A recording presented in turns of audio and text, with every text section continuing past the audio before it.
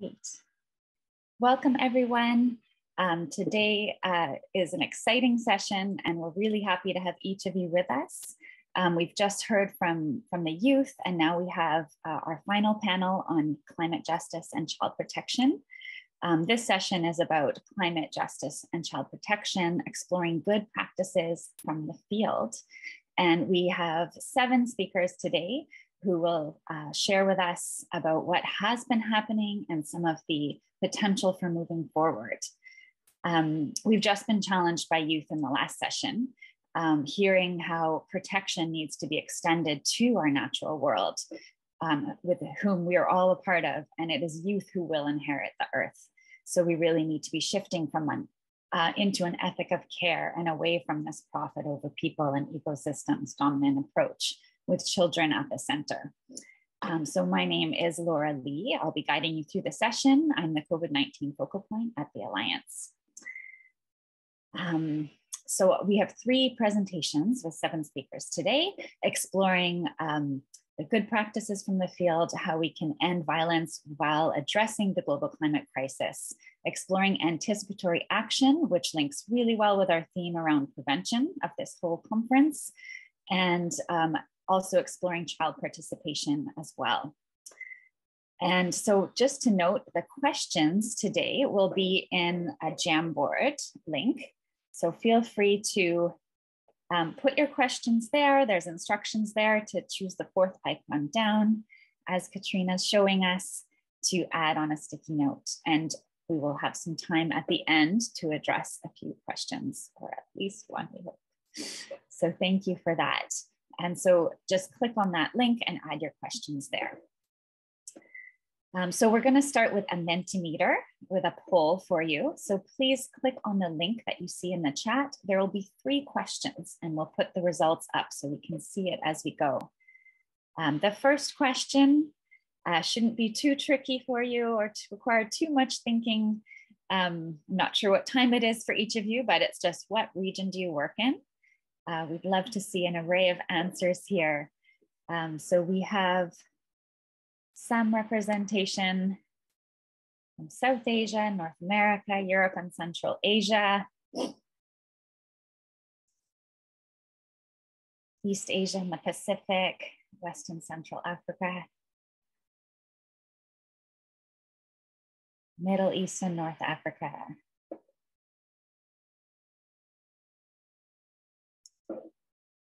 East and Southern Africa. Thank you. So please continue to put those answers in for one more minute.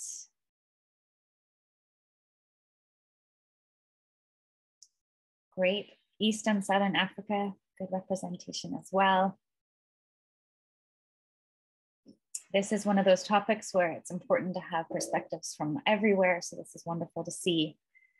Um, okay, and then the next question is how confident do you feel about working in climate crisis and child protection?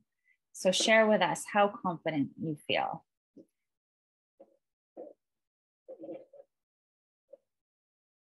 You're having a shifting scale from around sticking around two out of five.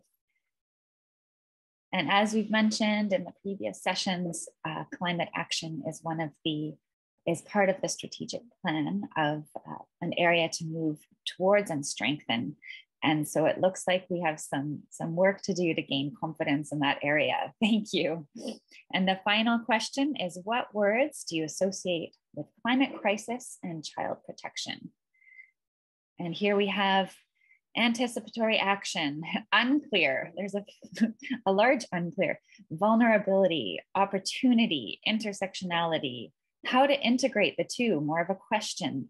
Child leadership um, needs to be child centered, uh, interconnection, um, opportunity, resiliency, prevention, participation, uh, holistic, urgent, family separation, child leadership. So some great words coming up, interesting vulnerabilities in the center. Um, we are all vulnerable to, in this in this regard, but um, child-led actions, um, poverty, it's long overdue. thank you for those thoughts. That's uh, something we should uh, take and move forward with. Um, great. Now I'm going to introduce our first speakers. Um, from World Vision International, they'll be speaking on ending violence against children while addressing the global climate crisis. Uh, we have Yukiko uh, Yamada Morovic with us. She's been working in the field of international development for over 15 years. She's currently the direct the technical director of external engagement and programming with World Vision International. In her role, she provides technical support for World Vision's environmental stewardship and climate resilience programming in close collaboration with the field offices. We also have Lavenda Ondere with us, who's a technical specialist um, with an environmental conservation and climate change background. She works with World Vision Kenya, mostly in Marsabit County, implementing integrated management of natural resource programs that seeks to build resilience to climate related shocks through climate smart interventions.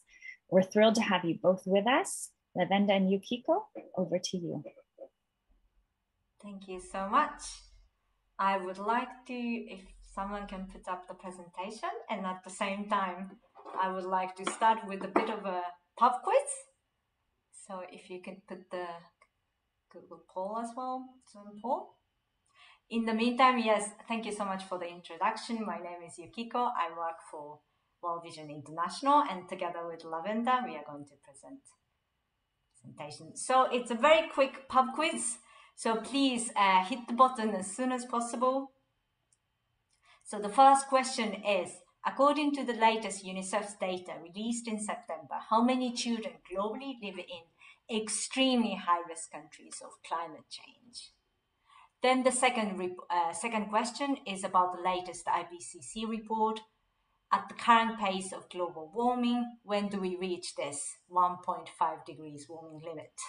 So please hit the button and then let's count 10 and 9, 8, well, 1. Please put the results up, please.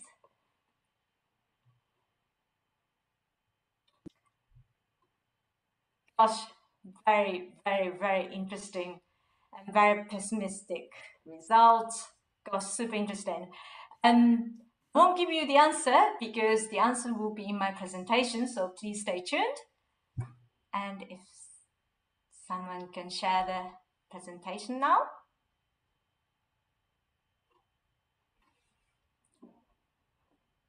Excellent. Next slide, please. Next, please.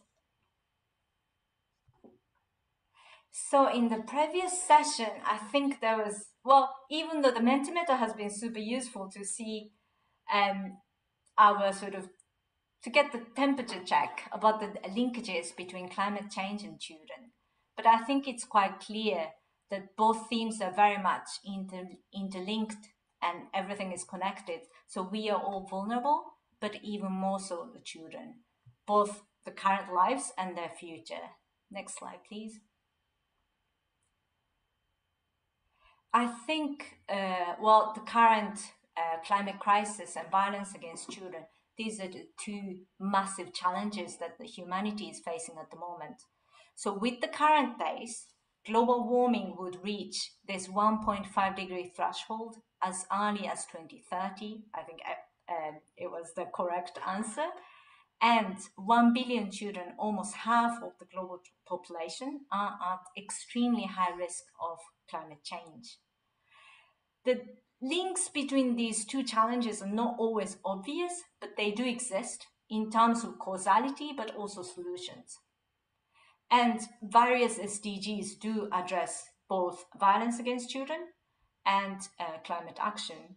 And tackling climate change can also impact positively in certain contexts where children are at high risk of experiencing violence. Next slide, please. This is the data from 2015.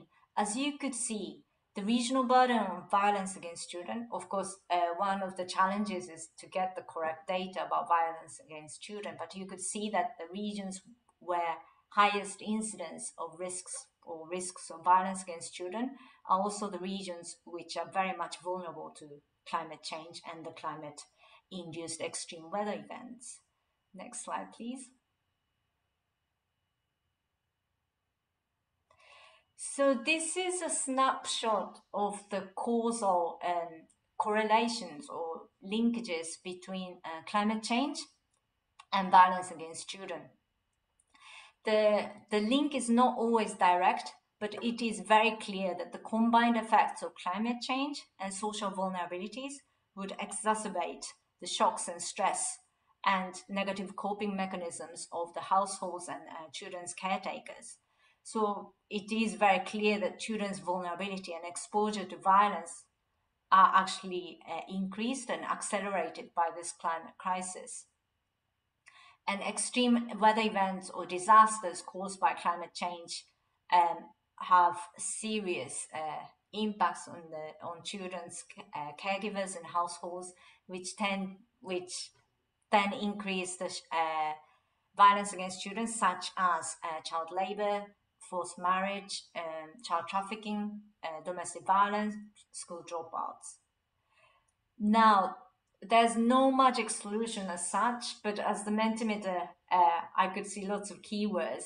One of the solutions and uh, is to empower children as uh, agents of change against climate change in both climate adaptation and mitigation effort. And at the same time, they do play a very important role in reducing the risks of violence against them. So I'll stop here because this is enough theory here, and my colleague Lavenda from World Vision Kenya can explain a little bit more the case study from the field. So next slide, please, and I'll pass the microphone to Lavenda. Uh, uh, thank you so much. I hope I'm so I'm clear and everyone can get me. Uh, I'm going to uh, give some case study uh, in the northern from the northern counties of Kenya. And as you all uh, know, or as you may know, that uh, arid and semi-arid lands of Kenya make up to 89% of the landscapes. And this is supporting approximately 38% of the population in Kenya. Uh, this population are mainly uh, pastoralists and uh, they depend um, mainly on the environment and nature for provision. So as uh, the climate crisis is going uh, on, uh, we've seen these areas are experiencing extreme climate related shocks. We have the long droughts, we have a, a high degradation, land degradation, erratic rains, and the average temperatures are, are, are getting higher and higher. This is affecting the livelihoods of these communities. Uh, next slide, please.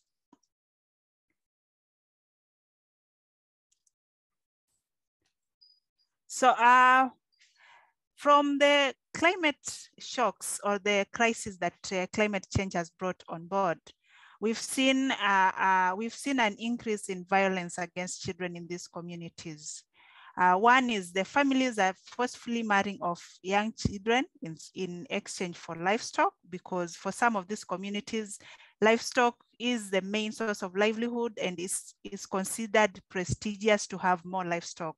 So when they're affected by drought and the, the livestock die off, the only way to replenish this is to uh, uh, marry off the young girls. And uh, I look at uh, one count, which is Marsabit, where there's 80% privilege for uh, to FGM, that is female uh, genital mutilation.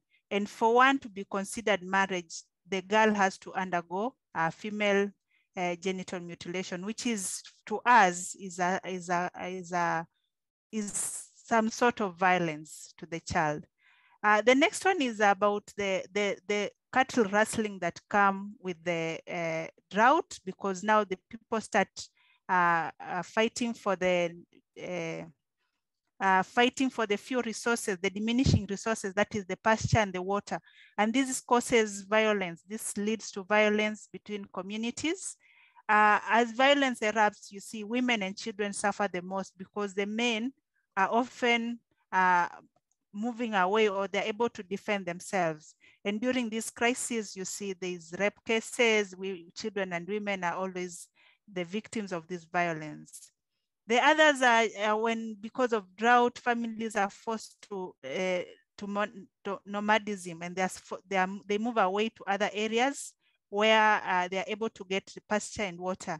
And they are forced to leave the children behind with relatives or they are forced to uh, make sure uh, to leave children with people who, who subject these children to child labor and other forms of uh, uh, often maybe rape because they, most of these children are not left with their immediate relatives who are, who are able to offer protection to them.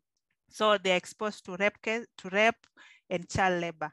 And uh, just the harsh climatic conditions uh, also has led to children migrating to the rural urban migration, where uh, families are moving to the uh, mushrooming towns and these areas are where the girls are exposed to prostitution and other forms of violence.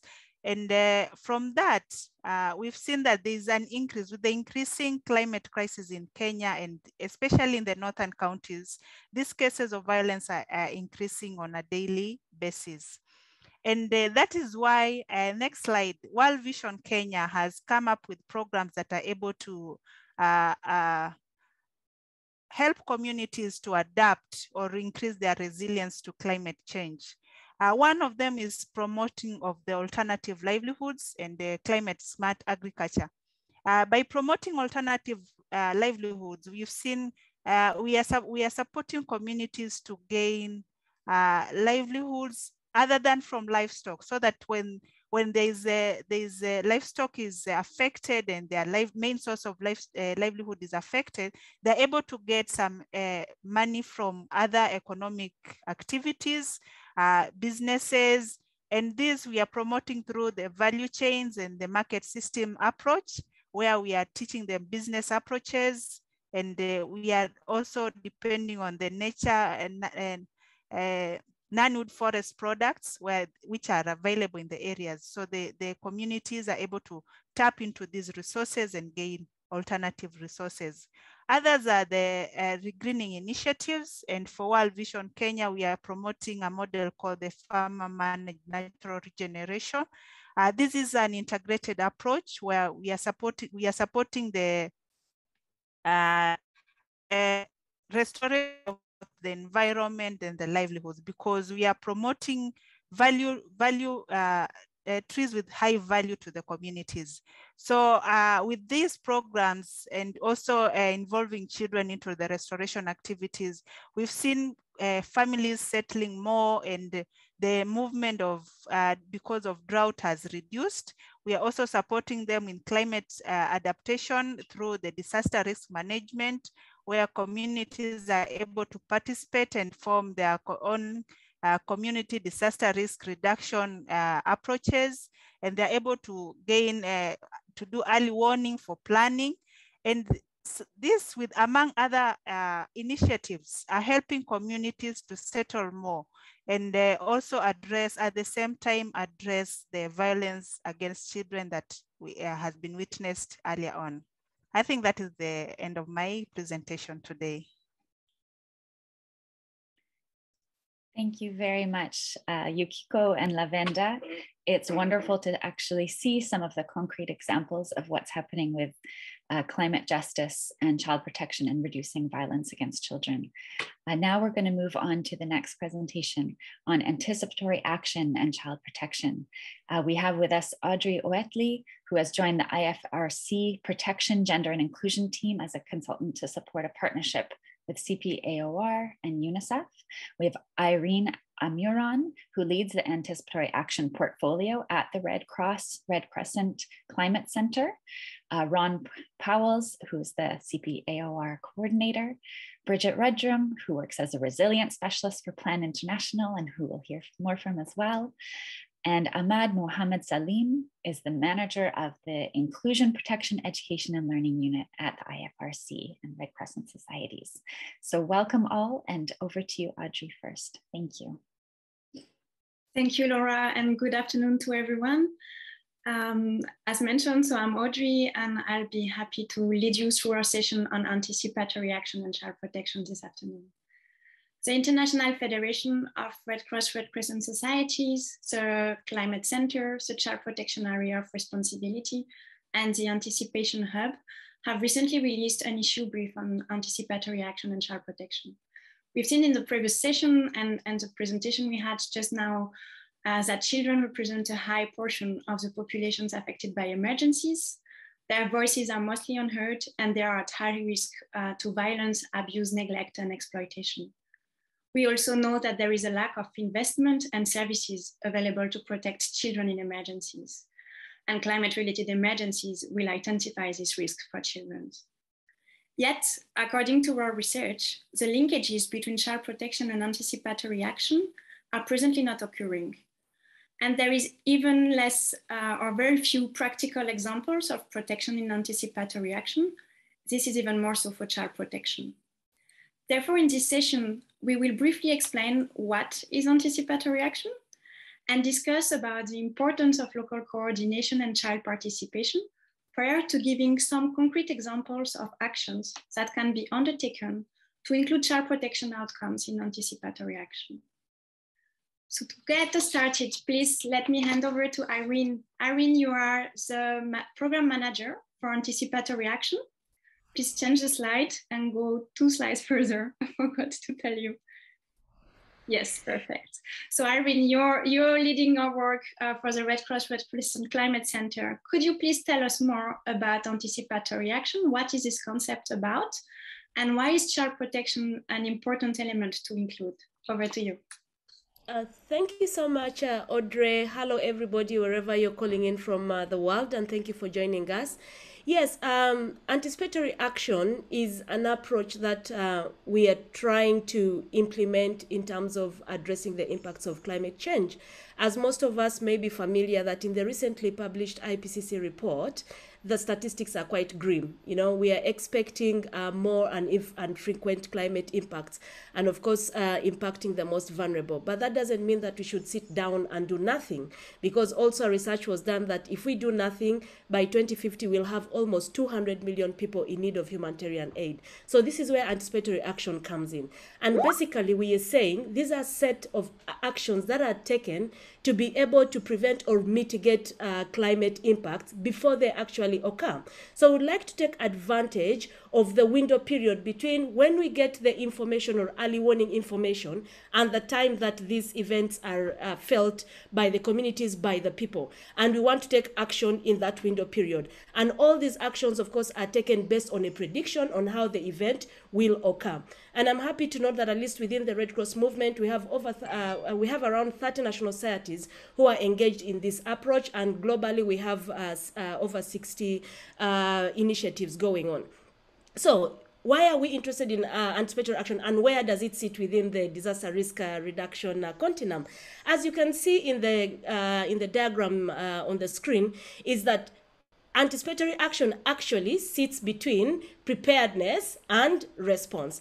And personally, I like calling anticipatory action the acute part of DRR because we are taking advantage of the window period, that small time that we do have to implement these early actions before the impacts are actually felt. So while our traditional disaster risk reduction is focused on analyzing and reducing exposure to hazards and vulnerability, within anticipatory action, we'd like to aim to prevent, mitigate, or protect um, against the impacts based on a forecast or any predictive analytics that could be done. And also in some cases, be able to prepare for early response. So for example, we could be able to preposition items and when we get early early warning information and then we, we distribute those items. So that aspect of uh, prepositioning would look at it as part of preparing for early response. So if you can see, we are emphasizing that anticipatory action should be part and parcel of disaster risk management and it shouldn't be done in isolation. And why are we uh, interested in anticipatory action and child protection? It is because, as you've already seen, our colleagues from World Vision, they've said, you know, uh, uh, they've given us the, the figures that 1 billion children are affected by um, by climate impacts. And also, uh, a recent UNHCR report indicated that children are the most affected when disasters occur. So this is an onus for us to preposition children in the midst of our planning for anticipatory action and ensure that they uh, participate in these whole processes. Thank you, and over to you, Audrey. Thank you, Irene. And please change to the next slide. I would like to turn to Ron Pouwels. Ron, as a global coordinator for the child protection area of responsibility, could you please explain why local coordination for child protection needs uh, needs to be part of anticipatory action? Uh, thank you, Audrey, for, for your question. Um, so once the emergency are actually projected to occur, uh, it's needed that we have deliberate action to ensure that children's needs, and especially those most at risk of harm, are actually identified and recognized, and that early local action is also taken through coordinated approaches. So the early warnings that Irene also referred to need to be contextualized and interpreted into expected risks for children. And categories of children at risk must also be identified. For, for instance, we know that some populations of children, such as girls or children connected to the streets or involved in labor or children with disabilities, children who are married or at risk of being married, have particular protection risks in emergencies that we really need to, to prioritize. We can do this through consultations with children and key local stakeholders, reviewing the existing data and learning from the past emergencies as well. But we need to go beyond consultations with children, and we'll hear more about that in the next session, to really ensure the meaningful participation of children. And as the Undersecretary General of the IFRC said earlier, children are their own best experts. And it's important that they have adequate information to make informed decisions but also about where to go for help around protection issues in emergencies. And we furthermore need to make sure that they have continued access to education and protection services before, during, as well as after emergencies. And in that way, we need to work with the education sector as well as other sectors. Now, to prioritize action for children, this understanding of risks really must be shared by all the actors and children's voices must be taken into account by them as well. So therefore, local coordination and joint planning between relevant government ministries, child protection and education practitioners, including those at community level, the international and national NGOs, the UN and Red Cross and Red Crescent national societies, as well as technical experts and scientists in, in key is, is really key across all phases of the emergency preparedness and response until recovery. So to prevent, address, and mitigate risks children face, we need to work together in a coordinated manner. It's the best way and probably also the only way to go. Thank you. Thank you, Ron. And next slide, please. I would like to turn to Brigitte. Brigitte, you are currently working with Plan International as resilience specialist. Could you share some concrete examples of entry points to ensure that children can meaningfully participate in the development and in the implementation of anticipatory actions? Yes, thank you, Audrey, and um, good afternoon, everyone. So in answer to your question, firstly, as we have heard earlier today, we must recognise that children, and especially girls, are one of the most vulnerable groups to climate change and will suffer disproportionately from its immediate and long-term impacts. So with climate change impacting protection and participation, it's breaching children's rights and makes the climate crisis a child's rights crisis. So children, firstly, therefore have a right to have their voices heard on the decisions and actions that impact them today and into the future. And this must include the anticipatory action agenda, as we have heard uh, from Irene, positioned as a key mechanism to address the impacts of climate change. But currently, anticipatory action approaches are not sufficiently child-informed or child sensitive. So there's a big opportunity here for the child protection sector to engage and influence. And aside from it being a matter of children's rights, children's, children are also the best place to talk about their own experiences and identify solutions to their needs. And furthermore, children should not be viewed as passive victims of climate change. They have the potential to be powerful protagonists for change and play a meaningful role in anticipatory action. So we'll explore this further um, in my presentation in a moment, but for now, um, we can share a few suggestions of possible ways for children to engage on anticipatory action, which of course need to be contextualized. But firstly, children should be consulted about the risks that they may face. However, it's crucial that this process is inclusive to ensure the anticipatory actions that are identified then consider the differentiated impacts of climate change on children determined by a variety of factors, including gender, ethnicity, disability, legal status, and poverty. So the inclusion of the most marginalized groups is imperative. And then in the anticipatory action space, children can develop child-friendly messages to interpret early warning messages and guide children's actions in times of emergencies. And children can also directly implement early actions. For example, it's important for children to talk about what might happen to prepare themselves. For example, children can also develop their family safety plan and learn key contact details and names of family members. Children can share knowledge on where to seek help in case needed and can maintain peer-to-peer -peer support. Children can also review the early actions or anticipatory actions after the emergency to be part of the process in terms of providing feedback. But as I've said, these suggestions are only initial examples and would of course very much need to be contextualized. But there's some initial ideas um, as inspiration that we'll explore further um, in a moment. Thank you. Thank you, Bridget, for these examples and ideas that you're throwing. Um, now let's let's turn to Amjad. You're working as a manager for inclusion, protection, and, and engagement within the federation. Which practical actions would you recommend actors undertake to improve child protection in anticipatory action?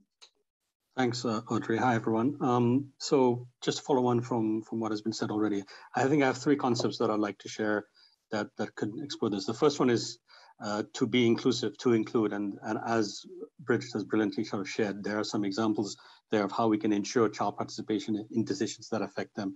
And you know, Ron has talked about going beyond consultation of children.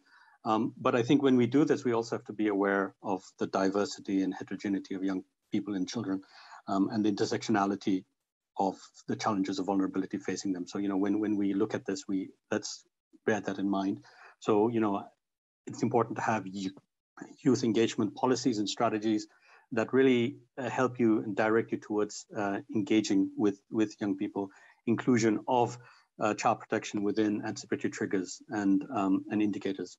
The second concept or the second aspect is, is to protect. So all agencies that interact with children need to have in place safeguarding mechanisms, say uh, in, internal protection systems.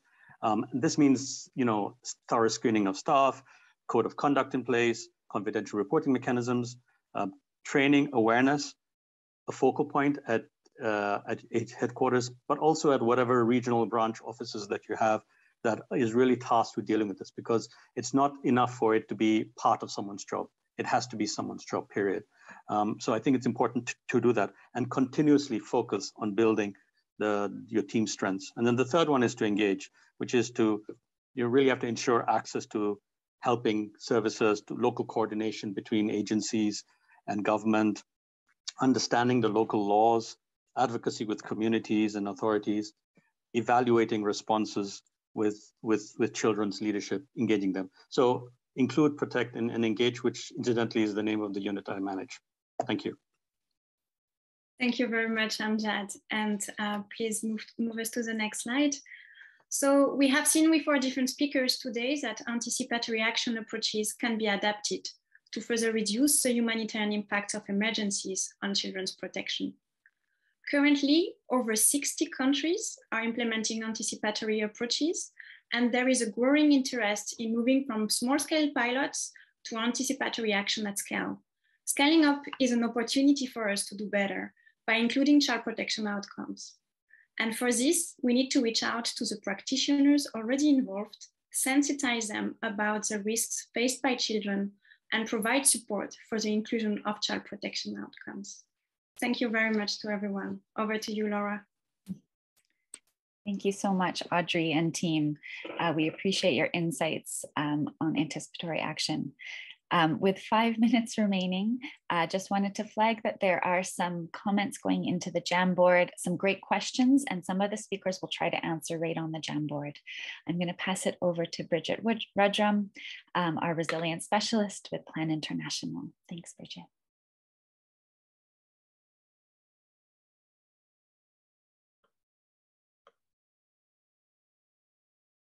You are on mute, Bridget. okay. Um, thank you very much uh, for the introduction. Good afternoon, everybody. Um, and for this final part of the session, um, we'll be focusing on children's participation. Um, and as introduced, my name is Bridget. I'm working as the resilience specialist at Plan International to strengthen resilience and climate change adaptation across our programming. Um, next slide, please. So aiming to build on the powerful insights and advice we've just heard from youth advocates in the previous session, we'll aim to further emphasise why children's participation is crucial on climate and child protection, highlight some practical approaches, explore ideas for opportunities and entry points for the child protection sector on climate change, and end with some next steps. So I'd like to start with continuing on from Audrey's presentation when we introduced children's participation in anticipatory action as a specific mechanism to address climate change, to now ask uh, to ask you to think of what words come to mind for you on why children's participation on child protection and climate change is important.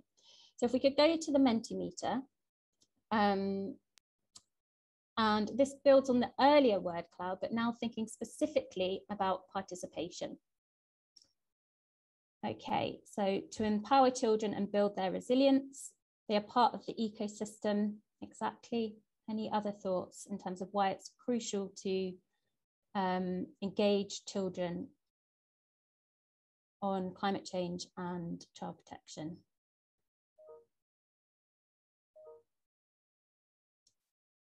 couple minutes for any other answers that might come through.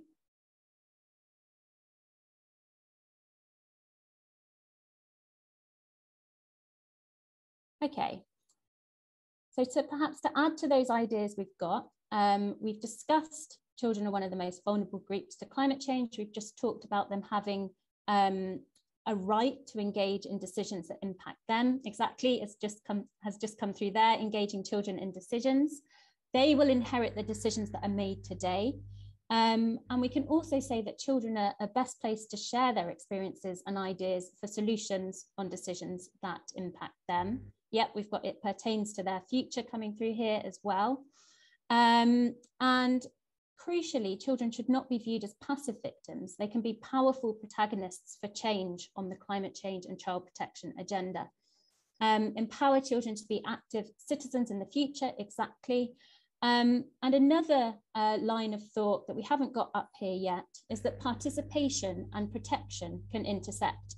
So by empowering children to raise their voices or take action through a meaningful role against a harmful situation that they are in or have experienced, can create a psychological protection through making children feel more in control, hopeful and resilient. So we'll return to this again later in the presentation. So thank you for those thoughts. And if we go back to the main slides,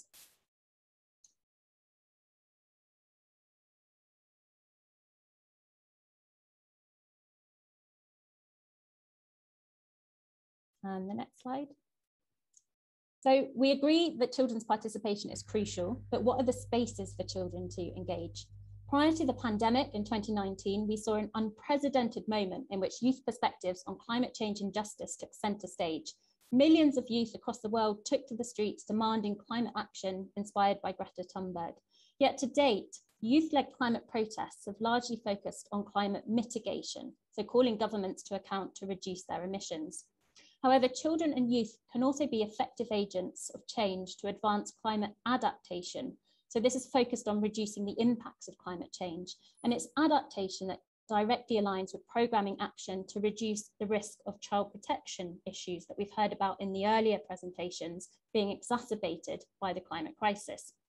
However, despite strong grassroots child and youth-led activism, as was highlighted by uh, the youth activists earlier today, the formal spaces for children's participation on climate action at local, national and global level remains limited. And with reference to child protection, a global report by the IFRC last year concluded that children do not have a voice on the child protection mechanisms, policy and laws that affect them in climate disasters. As the policy brief highlight, highlighted, we need to do better. Next slide, please.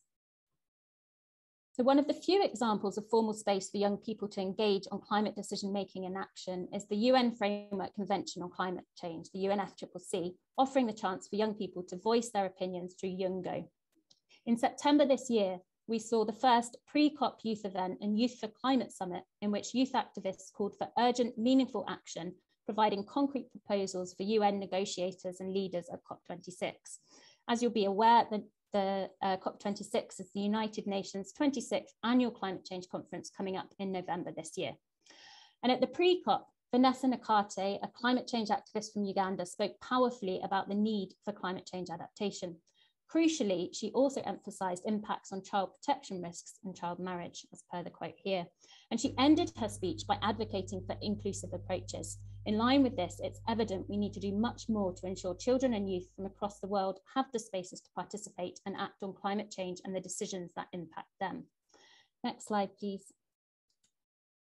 Hence, we now want to share a few quick examples of practical inclusive approaches to advance children's participation on climate change and child protection from local to global levels. And with climate change being a cross-sectoral topic, it is crucial to take a multi-risk informed approach to developing actions, considering diverse perspectives across sectors and stakeholders, crucially including children. And PLAN's multi-risk toolkit has a range of participatory interactive activities to empower children to share their perspectives. These tools can be integrated into child protection programming to add a multi-risk climate change framing. For example, the seasonal calendar is looking at hazards and extreme weather events and their impacts throughout the year and is a useful tool for this purpose. Next slide, please. Another resource we wanted to share is the Y-Adapt curriculum, supporting adolescents to take action in their communities to adapt to climate change. It starts with a games-based interactive learning phase to introduce climate change and the impacts across the world, before then contextualizing this to your community, identifying vulnerabilities and capacities and coming up with an action plan. Y-Adapt then supports a six-week action phase where young people implement their action, followed by a sharing phase to capture the action on an adaptation card, which is shared with the next group of youth and online on an interactive world map. So Y-Adapt currently introduces differentiated impacts, but there is a clear potential here to develop this aspect further and could offer an entry point to better integrate considerations of child protection risks and youth-led action on climate change adaptation. So a potential opportunity to explore. And next slide, please. And then I wanted to share an action research approach, which is an example of adding a child protection lens to an existing climate change methodology. So this one is an example um, that IFRC used earlier this year with adolescents in Trinidad and Tobago, with real examples from children that align to some of the insights we heard um, earlier today. Here, we start by discussing climate change exacerbating extreme weather events around the world. Children then identify the ones that they have experienced, adding a person icon, if we can click. The ones that happen most often, adding a tick, if we can tick a, a click again, and then the ones that have the biggest impact for them, adding a star. We then talk about how climate change impacts them and their rights, and they add yellow post-it notes online on this virtual platform to discuss their impacts. Um, we then use this to frame the conversation to link towards how these climate impacts may then exacerbate child protection risks. So we start by talking about impacts on mental health, and they add post-its um, linking to mental health. So if we can click again. And then we move the discussion towards possible impacts on the risk of physical abuse. Click again, and then they add further post-its there. And this proved effective in building the links from climate change to child protection risks, where initially there can and there was pushback that the two are not related. And this activity then ends with identifying groups of young people who may be particularly vulnerable. Can click again. And then next slide, please. So this approach, or one back, then opens the conversation for children to think about whether they have opportunities to participate in the decisions that are made on these impacts that they've identified that affect them, and whether their opinions are taken seriously.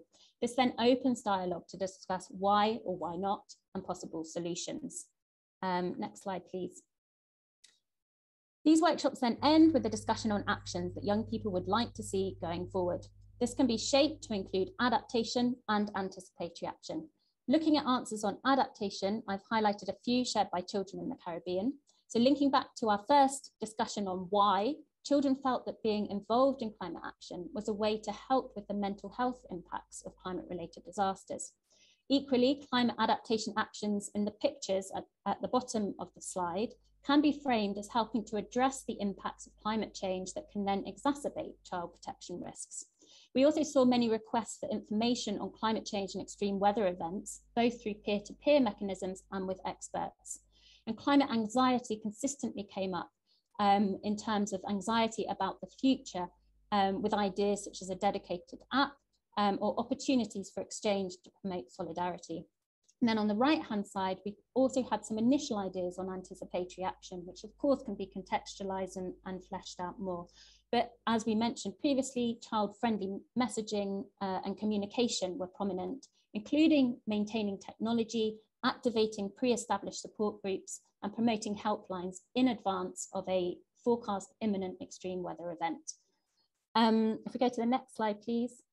However, where it is no longer possible to adapt or cope with the negative impacts of climate change, this is called loss and damage. And so I wanted to return to Vanessa Nakate's speech at the Youth COP, who powerfully raised this agenda, highlighting it needs much greater commitment. And hence I wanted to open the conversation today on whether the impacts of climate change on child protection risks could or should be framed as loss and damage. For example, where climate impacts force girls to drop out of school and lose out on education, or when climate impacts cause livelihoods to be lost and child marriage is resorted to as a coping mechanism, changing the course of girls' lives against their will. There is then also the question on if and how um, children could or should participate in this evolving dialogue. So I want to leave this open for now as a crucial dialogue to be explored and continued. Uh, next slide, please. And then my final slide um, I wanted to end with a potential opportunity to influence a new resource to advance children's voices on climate change, soon to be launched and endorsed uh, by a range of organisations, uh, including the Children in a Changing Climate Coalition. And the cards are, uh, are comprised of simple, fun, do-at-home activities for children aged 8 to 12. They introduce climate change, contextualise it, and encourage children to think about the actions they would like to see happening ending with a creative call for climate action. The cards introduce differentiated impacts, but there could be scope to shape this further, again, to have a specific child protection lens. Um, and then next slide. The cards are due to be promoted at COP and launched formally following this. The idea is then for all the partner organisations to support their rollout with an aim to ensure there are outputs ready um, for young people to present a global children's call for climate action at the UNDRR global platform in May next year. We hope to also use the outputs to influence the Children's Charter on DRR. So this could be another entry point to explore integrating child protection risks and climate action. Um, and if there was interest in the Alliance, perhaps looking at having a specific child protection and climate, climate track to promote children's voices on this topic. Um, and then last slide, please. So I wanted to end the session to say that we're very open and keen to collaborate on these agendas and would be extremely interested to hear from others to discuss further the resources and initiatives shared today or other ideas and opportunities to advance this agenda. Um, so thank you very much for listening. We hope it was useful um, and hope to continue this conversation. Thank you. Thank you so much, Bridget. And we're over time a bit, so I will just conclude, but please look at some of the comments in the chat. There's some great links to click to, to really move forward on some of this, these action points. There's a, a big need for an intersectional lens moving forward, ensuring that we really address the needs of the most vulnerable children as well. Um, I'd ask the presenters to share their contacts in the chat. Um, there are there's quite a flurry of questions. Some of the answers are on the Jamboard, and presenters may be able to uh, continue to put some responses there. I'd also encourage the presenters to move into some of the discussion rooms in the next session, where we will continue the conversation. So I just want to extend a warm thank you to each of our presenters. Uh, you've challenged us and encouraged us. It's a topic that can bring fear, but also hope. So we take all of that and uh, really hope to move forward uh, with action uh, in partnership with children. Thank you.